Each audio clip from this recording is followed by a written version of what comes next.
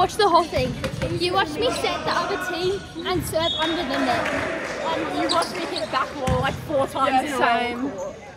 And serve out like five times. You go first. But yeah, the score is, what was the score? 25-18. Where do we put the camera? Oh. Say hi to Jeb. Yeah. Hi. Say. Hi. So there's there's my mom over there.